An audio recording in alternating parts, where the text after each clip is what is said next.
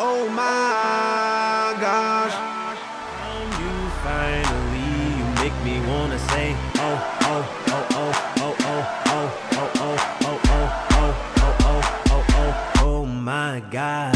It is about the faces of Slovakia. A small nation of five and a half million in this World Cup independently for the first time ever. And now on the cusp of knocking out the holders.